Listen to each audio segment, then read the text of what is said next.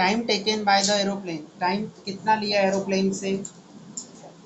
Time taken by bus and therefore time taken by time taken by aeroplane now see in second condition the time total time is given तो that's why we have to convert this in to in the form of the time तो time taken by aeroplane equals to y upon 700 so now according to second condition uh, by bus as well as by train he taken total time 5 hours.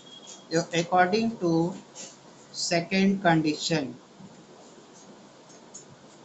x upon 60 is time taken by bus and y upon 700 is the time taken by the aeroplane. And the total time is 5 hours. So, this become your equation number 2. Now, observe the equation number 1 and equation number 2. Equation 1 और 2 को observe करना है आपको। क्या दिख रहा है equation number one में? X plus Y equals to one thousand nine hundred और here x upon sixty plus Y upon seven hundred is equal to five ये हम लोगों को दिखाई दे रहा है।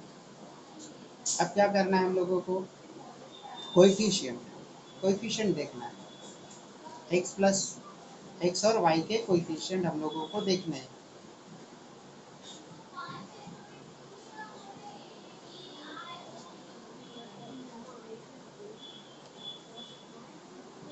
ओके तो here we can solve this equation by using the substitution method substitution method से भी कर सकते हैं हम लोग।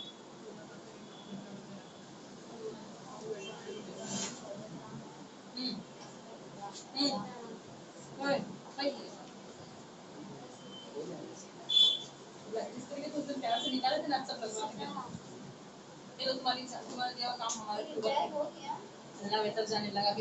Okay, now see.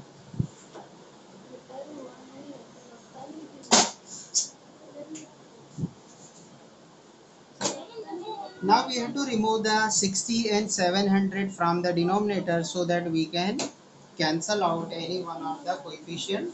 एक ना एक coefficient को हमको क्या करना है यहाँ पे cancel करना है तो इसको क्या करेंगे LCM लेंगे दोनों का तो 700 into x plus 60y this is the very simple method to take the LCM 60 into 700 is equals to 5 okay now let's multiply the 60 and 700 then here you will get 6 7 ja 42 and there are 3 0 total. So yes now write down the 3 0 6 7 ja 42 6 7 ja 42 and this will become the 700x plus 60y is equals to 5 now bring the this uh, denominator on the right hand side. You will get the 700x plus 60y is equals to 5 into 42,000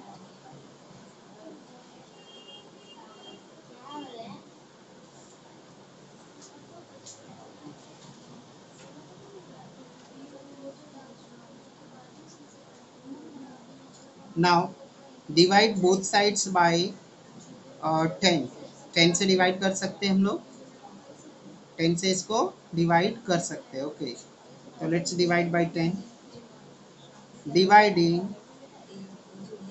both sides by ten ten से divide कर रहे हैं हम लोग तो here you will get the seventy X here you will get the six Y and here you will get the 5 into 4200 so 5 zeros are 0 5 zeros are 0 5 twos are 10 carry 1 5 fours are 20 and 1 21 now see the equation number 1 in equation number 1 the y coefficient is 1 so let's multiply the equation 1 by 6 multiplying multiplying equation 1 by 6 so here you will get the 6x plus 6y is equals to 19 6 ja 114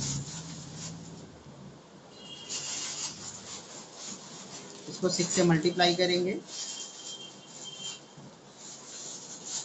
now we got the 6x plus 6y is equals to 11400 this is your equation number 3 now the equation number 2 and equation number 3 the y coefficient is same y coefficient same है तो late subtract इसको क्या करेंगे सब subtracting equation number subtracting equation number 3 subtracting equation number 3 from 2 equation number 2 2 से subtract करेंगे okay okay?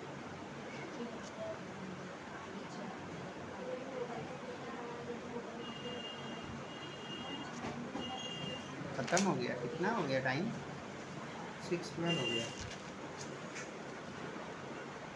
मैं and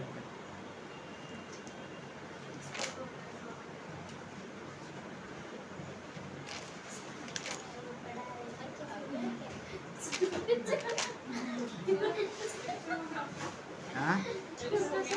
हाँ? ये स्पेस नहीं है अंदर रखने नो रख लो जहाँ पे भी रखो। मैं अपना काम फिनिश कर रहा रुको ना रुको ना लेट मी ब्रीथ अदर क्यों आया है let's our city breathe let's our city breathe other क्या है क्रॉस लग रहा है now charging buses came हाँ